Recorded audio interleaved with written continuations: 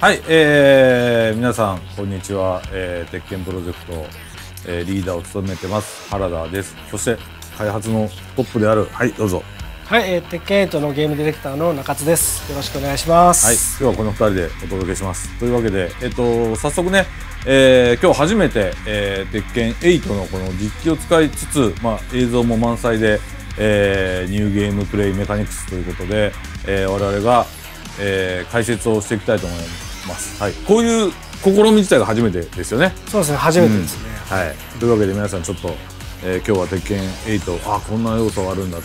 思いながら、えー、見てもらいたいなと思います。というわけで早速じゃあ行きましょうか。はい、行ってみましょう。はい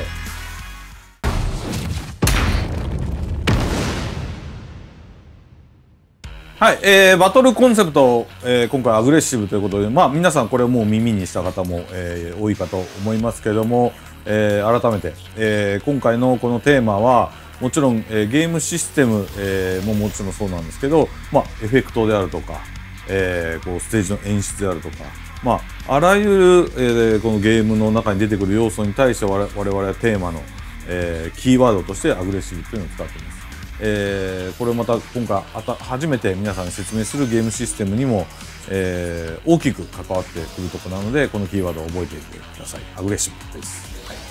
はい、というわけで、えー、このコンセプトのディティールビジョンということでね、えー、まあ、プレイしている人と見ている人、えー、双方に、えバトルシステムや、えまあ、進化した映像表現先ほど言ったような、ね、エフェクトも含めた、えカメラワークとか演出も含めたところで、えシリーズ最高の、まあ、爽快感を、え提供したいなというふうに思ってます。そして目指すゲーム性のところですね。そこはあのディレクターから説明して、はい、そうですね。とバトルで、えー、目指すゲーム性としては3つ、えー、大きくえー、ポイントを掲げております。まあ、一つは、えー、攻撃を仕掛ける側より楽しめるような、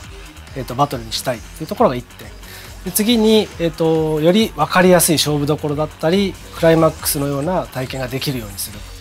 でもう一つは、まあ、キャラクターの個性や特徴を強化してよりアグレッシブに戦えるっていうようなバトルシステムを目指していますじゃあ早速、えーとバトルシステムの方を紹介していきたいんですけども、まあ、今回紹介するのはこの4つですね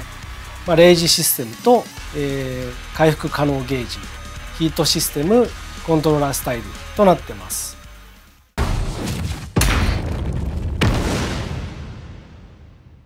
まずは、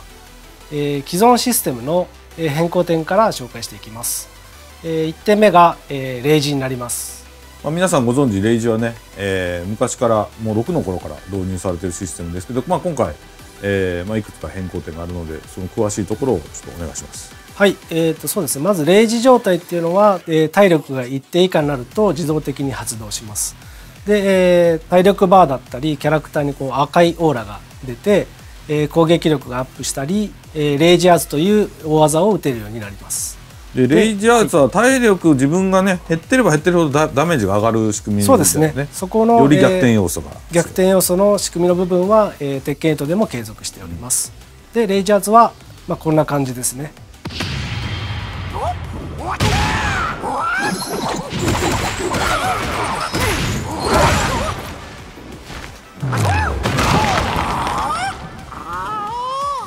はい、今回、えーと、とレイジャーズはえー、共通のコマンドになっております。で大ダメージがいくと、はい、いうことで、えっとまあ、あの必ずしもレイジアーツを出すのが正解ではなく、えーまあ、レイジ状態をね、えー、上手い人なんか保ったまま、えーまあ、攻撃力が上がった状態で手数で勝負するっていうようなそういう戦略も取れますので、えーまあ、レイジ、えー、これからちょっとね遊んでみる人はぜひ、えー、セブンでもここは体験できますので遊んでみてください。えーと、あとまあ1点。そのレイジ中の、えー、特殊アクションとして鉄拳7に存在していた、えー、レイジドライブは、えー、ヒートシステムと役割がかぶるので今回は、えー、廃止しております。初めてね。なくなる要素そうですね、もうどんどん足しちゃうとやっぱり複雑化するので、えー、一旦整理して、えー、レイジドライブ自体は、えー、なくなっています。はい、はい、というわけで、えっと、じゃああのさっきねレイジアーツ、えー、コマンド統一したって言ってましたけどもう少しちょっと補足しましょうか、はい、具体的にどういうコマンドになっているのかとより簡単な方法があるかと、はい、そうですね。基本的には全キャラクター共通で、まあ、斜め下右下と両パンチで出ます、はい、この辺にコマンドが出ると思います、で、えっとまあ、こういうコントローラーの場合は、えー、PS5 の場合はこの R2 ボタン。うん。で、えー、ワンボタンで、えーレイジ圧が発動できます。そうですね。セブンでもあのワンボタンで出るようには一応してますけど、は今回のここは継承してるというこ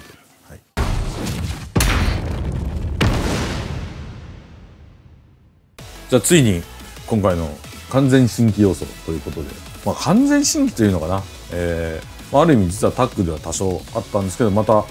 えーそのシステムが新しくなってるんでどうぞ説明してください。はい、えー、と今回、えー体力ゲージに、えー回復可能ゲージというものが、えー追加されています。で、えー、とこの回復可能ゲージっていうのは、えー、と空中コンボのダメージの一部が回復可能として残ったり、えー特定の大技をガードすると回復可能になる部分として残るので、まあ、結構、えーバトルの、えーヒートシステムと対をなすぐらい重要な、えーシステムになっています。で、えー、と鉄拳のタッグシリーズの、まあえー、と赤ゲージに似ているんですけども、まあ、特徴的なのはまあ時間経過による回復がないっていうところですね、そこが大きいよね。はい。うん。なんで、えー、と普通に休んでいても、えー体力が回復しないので、えーどうやって回復するかっていうのを今から説明します。はい、えっ、とやっぱアグレッシブっていうキーワードを設定しているので、より攻撃的な行動をすると体力が回復するというふうに、えー我々は考えて攻撃をヒットさせたり相手にガードさせることで体力が回復していくっていうような、えー仕組みにしました。あのイメージで言うと、まあなんかアドレナリンが体内から出て、受けたダメージがこう回復していくようなそんな感じで積極的に手を出すことで、えー回復可能ゲージ部分の体力が回復していきます。そうですねだからタッグとかタッグ2であったこうありがちなねこうちょっと回復してこう体勢立て直したいからってこうバックダッシュキャンセルバックダッシュってこう消極的にやっても有利にはならないというところですね。積極的に手を出して回復しながらも攻め続けるっていうのが大事になります。そういうことになります。じゃあ実機でえっ、とねえっ、と見つつ、えーもう少し細かい解説をしたいですね。白ゲージが、えー先ほど攻めないと回復しないと言いましたけど白ゲージ自体が、えーどう残るのかってところですね。えー大技をガードさせるとこんな感じで、えー白白い、えー回復可能ゲージとして、えー体力の、えー表示に残るようになってます。でこの白ゲージ自体は、えっと、時間経過で消えるわけではないよね。そうですね、あのここは時間経過では消えないんですけども、まあえー特定の攻撃などで、えー攻撃側が、えー相手の回復可能ゲージ部分を、えー消すことまあ、もできます。消すってこともできるし、はい今ちょっと下段とか例えば当てると、まあ、こういう形で、ね、ダメージ分こう寄っていく感じですよね。はいで、えー、と回復可能ゲージが残っている側は、えー止まっていると回復しないので、えー手を出して、えー攻撃を仕掛けることで回復するようになります。積極的な行動をしないと彼は回復しない、まあ、まさにこのコンセプト通りの仕組みになっておりますね。はい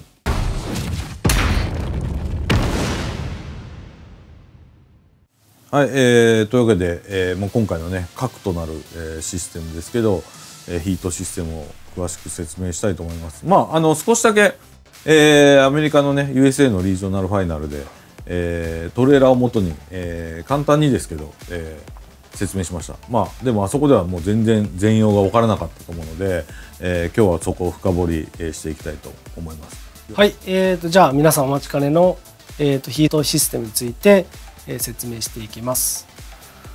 はい、えーとまあ、ヒートシステム自体は、まあ、本当に一言で表すと、まあ、圧倒的に攻め得なボーナスタイムになってます。えー一定時間、えー強化覚醒状態のようになり、まあ、駆け引きや攻めの起点を、まあ、自分で作ることができるっていうのが、えー大きな特徴になります。まずはヒート状態お見せしましょう。えーまあ、簡単なヒート状態の入り方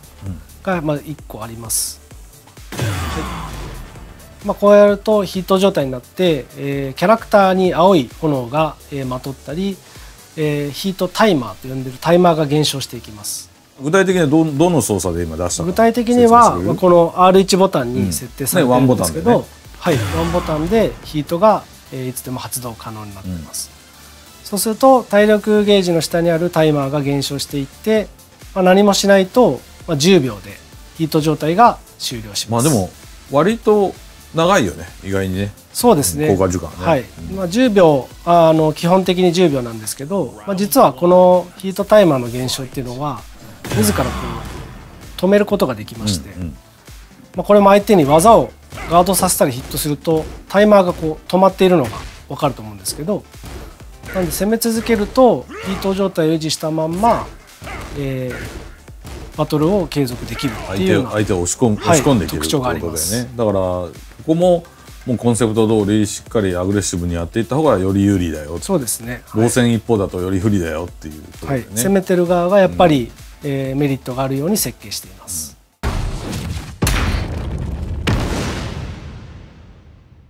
はい、えー、とではヒートの発動条件に関してですけども、えー、と2つあります。1つは、えーこのヒートバーストと呼んでる、まあ、自らの意思でヒート状態になる。こちらが、えー、一つのヒート状態に入る方法になります。これもワンボタンでね。これワンボタンはい。さっき言ったように入れるとえーもう一つはヒート発動技というものが各キャラクターに複数設定されていてこんな感じで相手にヒットさせると走りながら近づいてプレッシャーをかけて、まあえ圧倒的に有利な展開を作った上で攻撃を仕掛けられるというような発動方法があります。ヒート発動技自体は各キャラ、えー、と一つではありません。えー、と主に、えー、と平均すると大体5個前後ぐらい、えーありますね。結構あるね。そうですね、えっ、と、まあ、なんで、えー5個前後あるかっていうのは結構その戦略に、えー影響するので、まあ各キャラクターの特性を見ながら、えー複数設定しています。じゃあ、えっと、まずは初心者というか、まあ、今回から始めてみようかなって人はこの5つの技をまず中心に覚えるっていうこう分かりやすさみたいなところはやっぱあるんだよね。そうですね。やっぱそこを意識して、えー、と作ってますね。やっぱりあの鉄拳ってすごくたくさんいろんな技があるんですけど、うん。まずどの技から覚えたらいいかっていうのを分かりやすくするためにヒート発動技を、えー、といくつかキャラクターの特徴的な技に、えー設定することで、まあ、昔でいうなんていうんですか、インストカードみたいな。ああアーケードのね、はい。筐体に貼ってあった。筐体に貼ってあったような。まずこれを覚えようまずこの技だけ使えばうん。それなりに遊べるよっていうようなところを意識してヒート発動技を設定しているので、えー初めて使うキャラもまあヒート発動技を覚えれば、うん。まあ、それなりにあの戦えるしかっこよく戦えるようになってます。うん。まあ何よりもねキングとかすっごい技数多くてもうあれ格闘ゲーム界でもギネス記録取れるぐらいめちゃくちゃありますからね。また僕個人的にはキングは使わないけど今回のこのヒートが入ったことで実はすごい面白くなってるからそのキングの俺ヒート発動技だけをまず覚えて、もうそれだけでも結構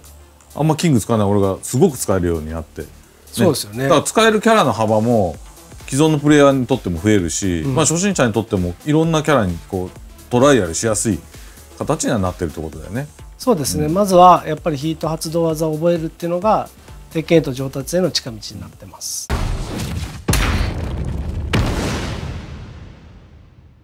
じゃあ実機でさっきのねヒートバーストとヒート発動技とのこう、まあ、違いも含めて、えーはい。もう少し細かいディティールを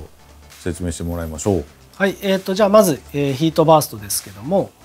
えー、とヒートタイマーが、えー存在していればいつでも、えー発動可能ですこんな感じで。はい。相手に、えー、と振り下ろし攻撃を、えー仕掛けながらヒートを発動するっていったような特徴があります。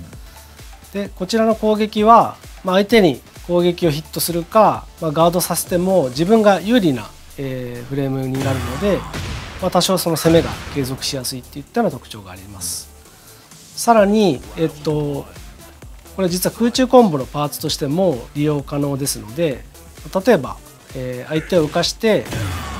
このヒートバーストを当てるっていうような使い方もできます。覚えやすい、はい。ワンボタンで。いつでも発動できるし空中コンボにも組み込める。はい、あとはですねあのどうしてもヒートを発動するときに攻撃が出て隙が出ちゃうんじゃないかみたいな、うん。えっとちょっと懸念があると思うんですけど実はこれあのヒートバースト自体をキャンセルして何もしないってこともできます。なので、えー遠距離で発動したい場合はそういうキャンセルを使ってヒート状態に入ることもできるのでご安心ください、うん。これ空中コンボに組み込めるということはちょっと7ではできなかったような空中コンボもできるってことそうですね。あのバウンドのようなやられが出るので、うん。えー例えば、まあ、こんな感じで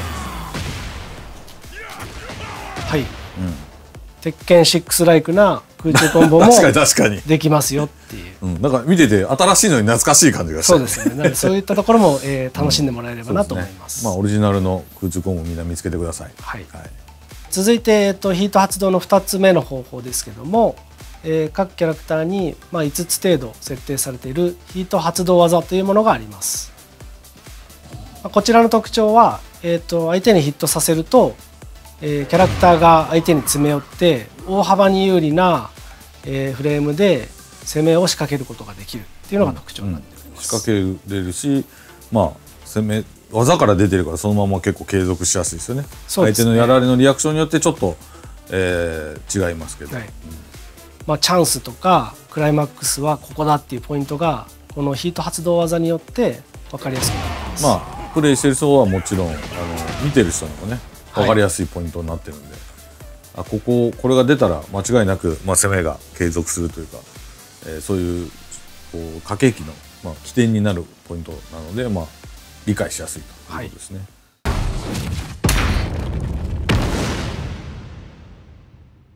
まあ、というわけで、えっとね、あの先ほどの説明あったように圧倒的にまあ攻め得なボーナスタイムがヒートシステムということで、えーまあ、この一定時間の、えー強化時間ですよねにおいて、まあ、駆け引き攻めの起点を作ることができる、まあ、どういう、えー攻め駆け引きそして起点があるのかというところは、えー詳しく、えー説明してもらいましょう。うはい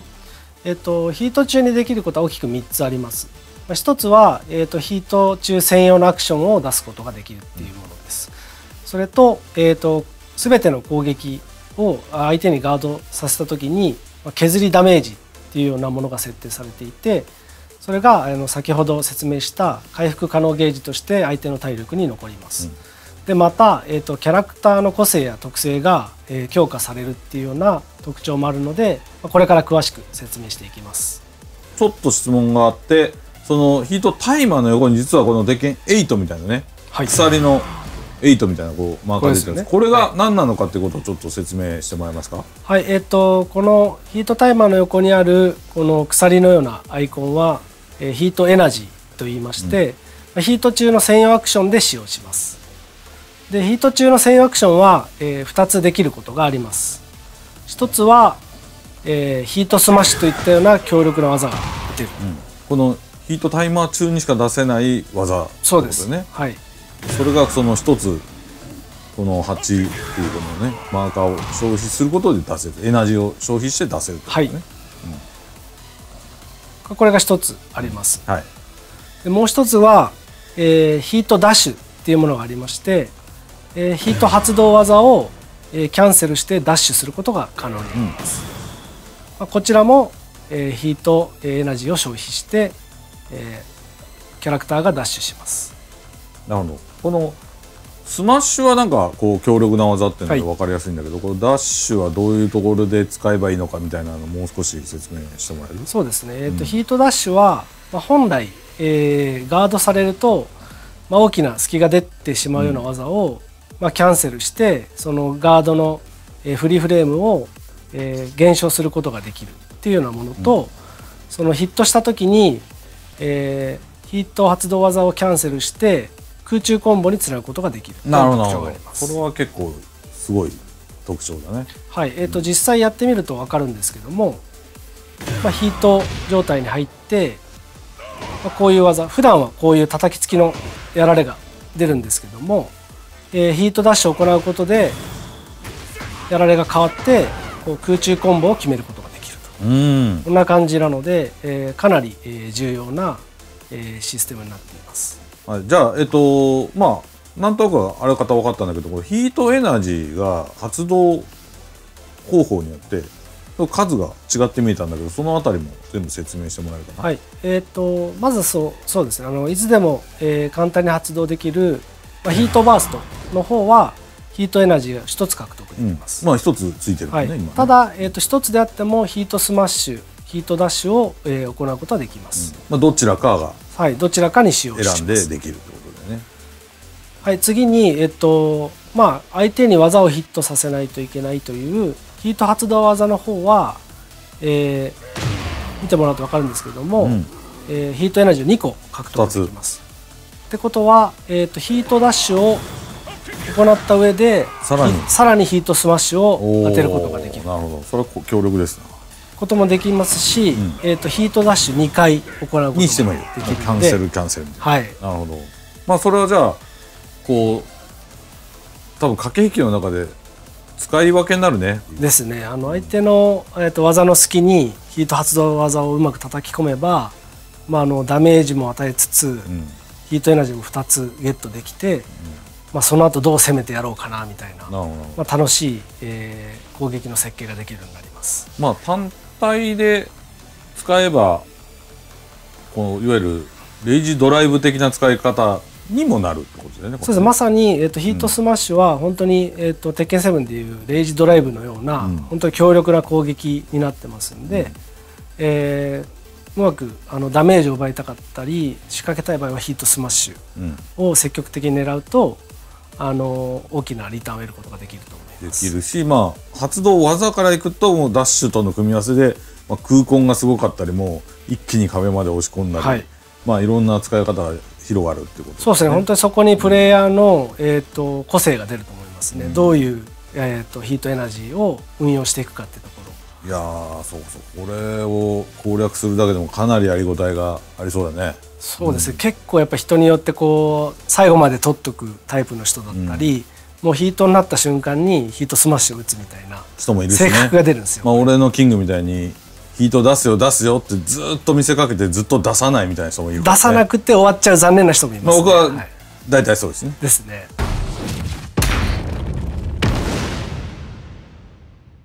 全キャラ共通で、えー付随しているこの効果みたいなところを少し触れてもらえる、そうですね、えっと、ヒート状態中は、えー、全ての、えー攻撃にこの削りダメージっていう要素が入っていて、まあ、体力見てもらうと分かるんですけど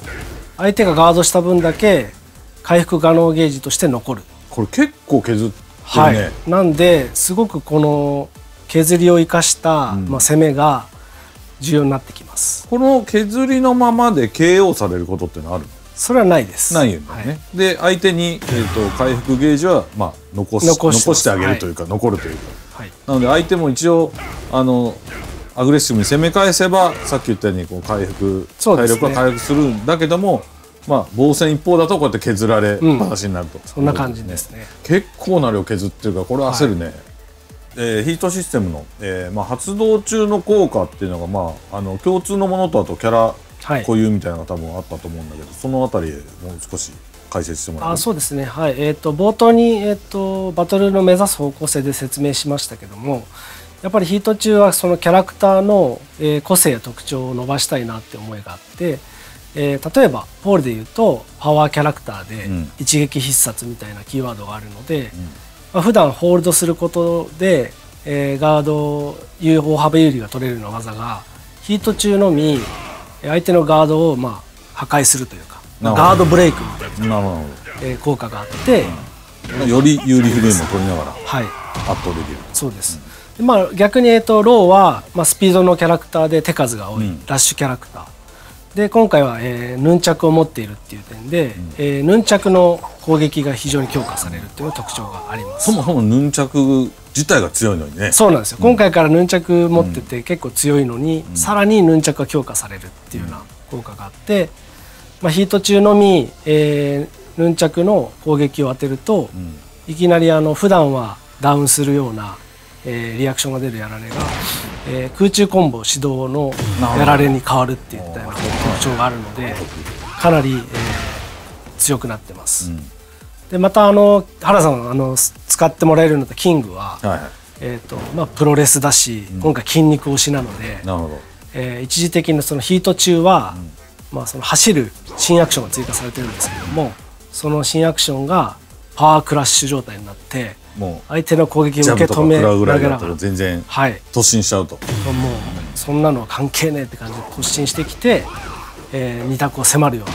ことができる。できると。いう、要はあの各キャラクターごとに、まあ、効果があるんで、まあ、その辺は今後いろいろ情報を公開していくので、まあ、お楽しみにって感じですね。各。キャラクターごとにそういうのが用意されるのね。はい、キャラクターの個性だったりその入力によって強化される点が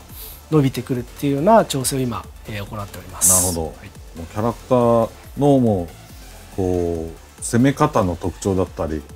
遊び方の特徴だったりに合わせてやるということ、はい、ですね。なんで、えー、本当ヒート中はいろんなことができるようになるし攻め方にもバリエーションが出るのですごい楽しくなってます。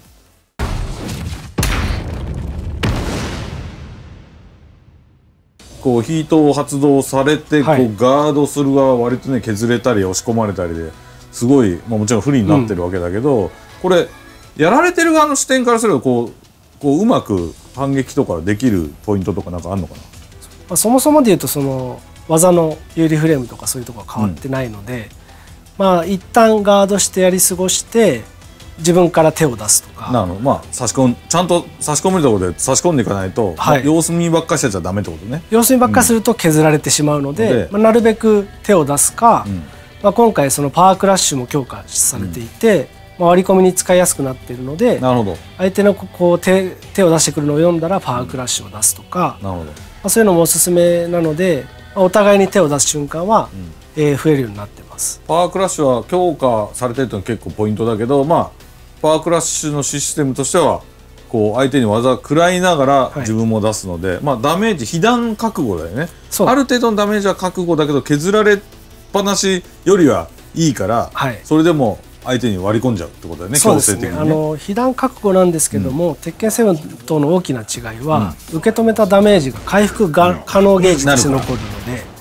えっと、ただただ食らうだけじゃなくて後からそこを起点に反撃していけば、はい、その分は回復で戻るだろうから、はい、また攻めれば戻ってくるんで、割り込みやすくなる。ん。です、うん、お互いやっぱりしっかり手を出す方がやっぱり有利になってる。これもコンセプト通りなんです、ね、そうですね。ただまあもちろんそのバックダッシュや横移動といったような防御防御行動も有効なので、まあ、手を出して切り返すもよし、まあ、今まで通りガードしてバックダッシュ横移動で様子見するもいいっていうのは本来の鉄拳の、ねうん。えー、いいところはちゃんと残してます。まあ、従来通りのテクニックでもい。けるし、はい、まあ、今回強化されたところを使って差し込むのもいいし、ですね。なんで防御する側は一時的に、うん、まあ、不利な状況にはなるんですけど、まあ、当然そうなりますわな、まあ、1個の攻防をしのげばあとは、その手を出したり、えー、自分が防御行動をうまくすることで、はい、仕切り直しもできるので、まあ、そこは安心してもらって大丈夫です。なるほど。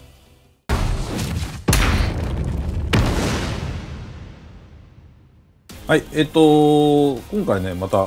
コントローラーのねこう遊び方のスタイルみたいなところが、えー、少し新しくなったみたいなのでそこを説明してもらえますか？はいえっとまあ、今回、えー、コントローラーのスタイルを、えー、2つ用意しています。うん、えー、1つは、まあ、従来の鉄拳操作、まあ、アーケードスタイルという名前を付けてますが当然だよね当然はいできるようになっています。でもう1つが、えー、鉄拳7の時にあった、うん、えー、簡単コンボ、えー、アシストっていう機能を融合したスペシャルスタイルっていうものを用意しています。うん、これどういうものかっていうと、えー、各ボタンに、えー、そのキャラクターの、えー、おすすめ技が設定されていて、うん、まあ、その攻撃をボタンを押すだけでアクションゲームみたいな感じで遊べる、うん、まああのおすすめ技がこう割り当てワンボタンで割り当てられるって機能までは鉄拳7にあったじゃん。はい。あれだけじゃないってことだよねつまり。はい。えー、と今これが何も出てないのでアーケードスタイルの操作になっていて、まあ、こうやって好きな感じで技を出せます、もちろん。で、えー、L1 押すと押すと、まあ、こはい、これがスペシャルスタイルの、えー、ユーザーインターフェースになっていて、うん、得意技、うん、空中コンボ、うん、パワークラッシュ、下段攻撃、ヒットバーストみたいな感じで、まあ、そのそれぞれのボタンに攻撃がアサインされています。で、えー、四角ボタンはえー、さっきから説明しているヒート発動技になってます、こんな感じでヒートを発動すると、はい、で R1 でヒートスマッシュが、うん、まあもちろんここはね簡単にできる、はい、でえっ、ー、と、まあ、特徴的なのは空中コンボは、この三角ボタンを連打することで、うん、空中コンボが決まるようになってます。つなげてくれる、はい、でこれも実は1個ではなくて、うん、三角の後に四角を連打すると違う空中コンボが出なるほど。あの鉄拳7だとこう一応こう各キャラの特徴的な技が4つボタンに割り当てられて、はい、それをこう左から順番にこう押していくと一応空中コンボなるよってなってたけど、まあ、今回ワンボタンではい。こういうふうにつなげれるししかも違う種類も選べるそう違う種類のコンボが、そのボタンの組み合わせによって例えば三角を押した後に丸連打するとまた違うまた違う空中コンボ。ああいいですね。はい、でさらにそのキャラクターの状態によって、この空中コンボがえー変化します、はい。例えば自分がヒート状態の時には、この三角ボタンを連打すると、自動的にヒートダッシュを使った空中コンボをやってくれると。すごいねこれね。はい。これ誰でもこれができるっていうのはすごいね。そうです、はい。まあ、ここがかなり特徴になっていて、えー普通にヒート発動技を使って遊んだりその空中コンボをボタンの組み合わせによって、えー連打するボタンを変えることでもう本当に鉄拳の醍醐味の空中コンボをいろんなバリエーションでキャラクターが決めてくれるっていうような特徴があります。で下段攻撃とかもはい、まあわざわざレバー入れなくてももうそうですね。はい、下段攻撃もちゃんとその下段キャラクターに合わせた下段を出してくれるってことかな、そうですね。あのあのなんていうんですかね。えっ、と駆け引きの基本になるようなものが攻撃のセットに入っていて、相手のこうタッチガードを崩すにはまず丸ボタンの下段攻撃決めてみましょう。とか、相手が手を出してくるようだったらパワークラッシュ×ボタンですね。割り込みましょう。で自分から攻撃を仕掛けるときには四角ボタンのヒート発動技を当ててこの空中コンボの三角ボタンを狙ってどんどんダメージを奪っていきましょう。こんな遊びが可能になってなるほど。ますじゃあこれ鉄拳7の時にあったみたいにこうね簡単割り割り当て技みたいなシステムあったじゃない。ですか、はい。あれあれはこう行き来できたでしょ？あのリアルタイムにゲームの中ではい行き来できるのかどうかを。はいもちろんできますえっと、今ここあのアーケードスタイルで操作しといて、まあちょっとやっぱりまだ、えっと、キャラクターの技が空中コンボわかんないとか。わかんないとかどれ使ったらいいんだっけってこ時にはこの出して。ヒートタイマーの使い方がわかんないって時はそれにしてこのガイドボタンというかそれを連打すればこうできちゃうよと。うですね。なんで、まあ、イメージ的にはこう自転車の補助輪的な感じで、あのスペシャルスタイル操作で慣れてもらって、まあ、ちょちょっと自分でも、えー切り替えてアーケードスタイルで練習してみようかみたいな感じで補助輪をつけたまんまのプレーと外してプレーをあの動的に切り替えながら遊べるっていうのが、まあ、今回のスペシャルスタイルの、まあ、特徴になっています。まあでも中級中上級者ぐらいでも割とうまくはい組み込んで使えそうだけどね,、新しいキャラやる時とか、うん。まあ、確実にやりたい時とかは、はい。ピンポイントで使えるから、わ割と幅広く初心者からあの中上級者まで使えはい。る仕組みかなと思うけどね。はい。でまあ、例えばその状態によって空中コンボが切り替わるっていうところで、まあ、ヒート状態かつレイジ状態だと、まあ、かなり、えっとテクニカルなコンボができるようになってるので、うんまあ、それも今ちょっとお見せします。なるほど!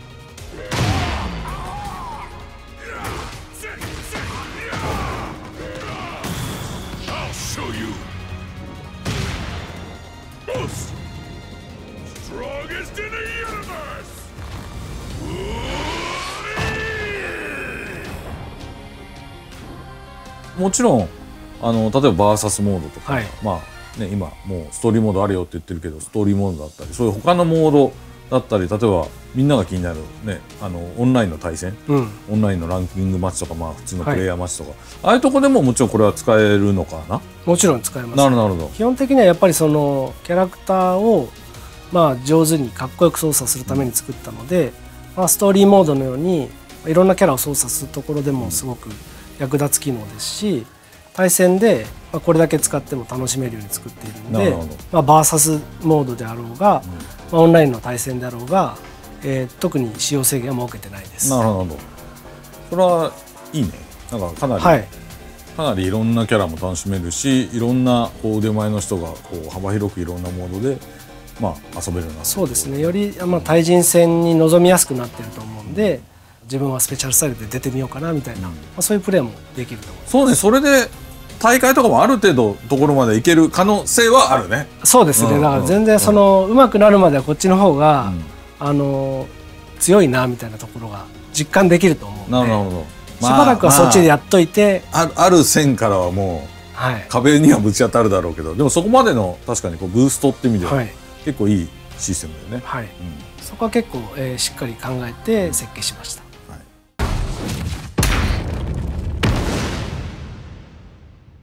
はい、えー、いろいろね、こう、細かいところ含めて、えー皆さんに説明